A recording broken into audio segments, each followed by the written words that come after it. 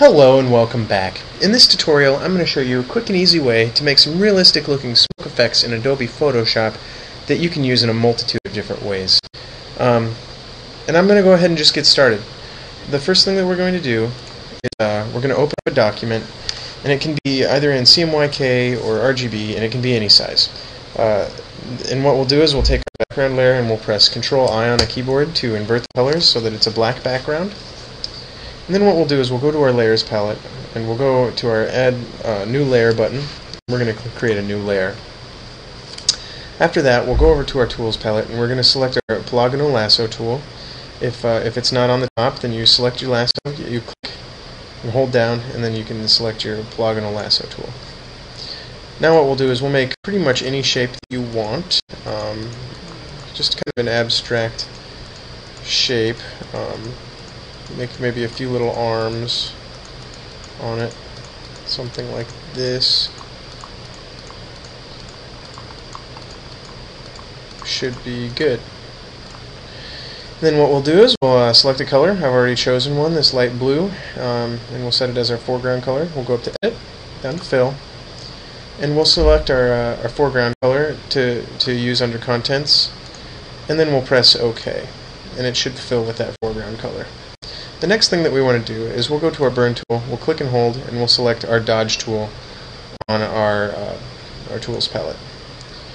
We're going to select a fairly hard brush, maybe around uh, 85% and a 38 pixel exposure. And what we'll do is we'll just go around the edge of this and you can kind of see it lightens up a little bit. I have my uh, highlights set for the range at the top.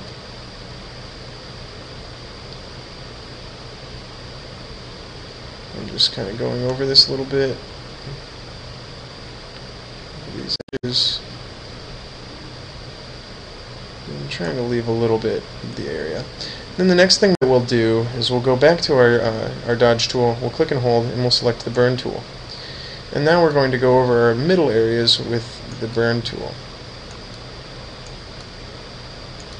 We're going to just keep doing that Looks like mid-tone selected. We, we probably want highlights selected for that as well. It's going to look pretty funny.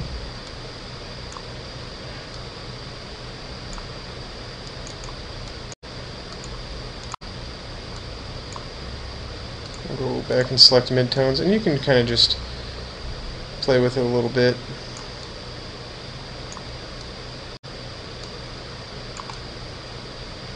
If you get something that looks kind of like this, that's fine.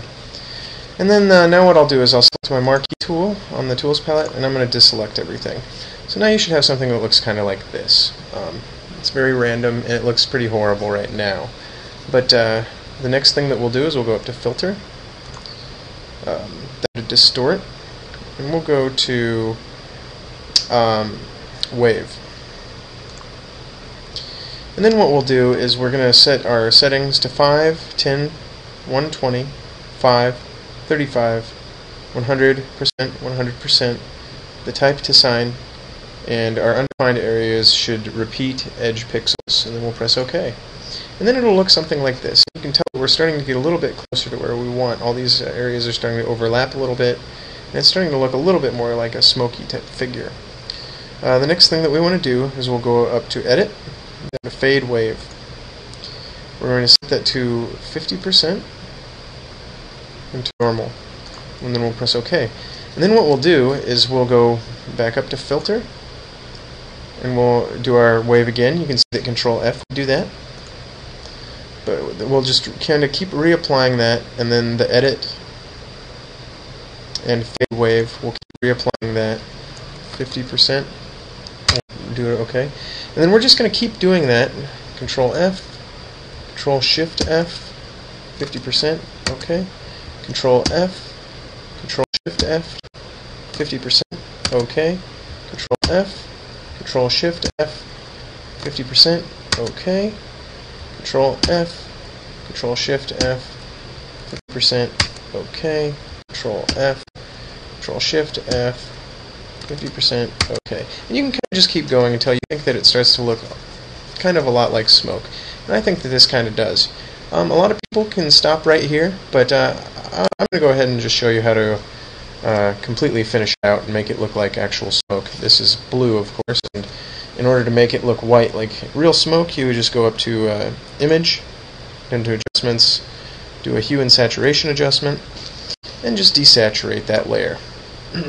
and now, it looks a lot more like smoke. Um, you can see that there are some kind of hard edges and stuff, and in order to soften those down, what we can simply do is go up to Filter, Blur, and do some sort of a Gaussian blur or a surface blur. I'll just do a Gaussian blur of about, uh, looks like 1.2 is what I had selected before, and that looks pretty good. It just kind of softens everything and makes it look a lot more like smoke.